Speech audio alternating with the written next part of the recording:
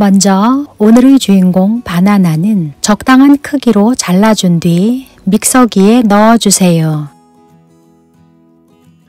계란 두 알도 넣어주고 오트밀 60g, 소금 3분의 1 티스푼, 계피가루 3분의 2 티스푼을 넣고 갈아주시면 되는데요. 오트밀을 완전히 곱게 갈아주어야 식감이 부드럽고 맛있습니다.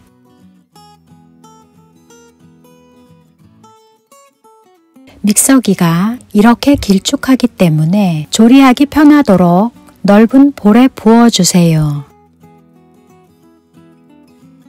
이제 흑임자 3분의 2 스푼을 넣고 잘 섞어주시면 반죽이 완성되는데요. 달콤한 바나나와 톡톡 터지는 고소한 흑임자의 조화가 아주 잘 어울립니다. 반죽의 농도는 되직하고 무겁게 흐르는 농도입니다.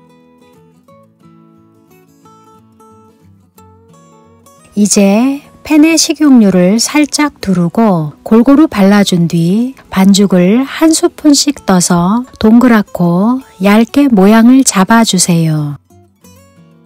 팬케이크 타지 않도록 약불에서 조리해 주시면 되는데요. 뚜껑을 닫아 열을 가두어 속까지 잘 익도록 해줍니다.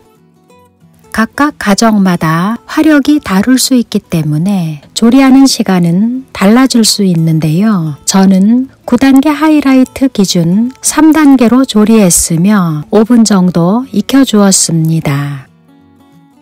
이제 뚜껑을 열어주고 팬케이크를 뒤집어주면 이렇게 맛있는 색이 나옵니다. 반대쪽도 노릇하게 익혀주세요. 딱 알맞은 비주얼로 팬케이크 완성되면 그릇에 옮겨 담은 뒤 꿀을 뿌려주고 좋아하는 과일을 올려주면 맛과 비주얼이 배가 되는데요. 저는 바나나와 블루베리를 올려주었습니다. 마지막으로 입맛에 따라 땅콩 버터를 살짝 더해 드시면 더욱 맛있습니다.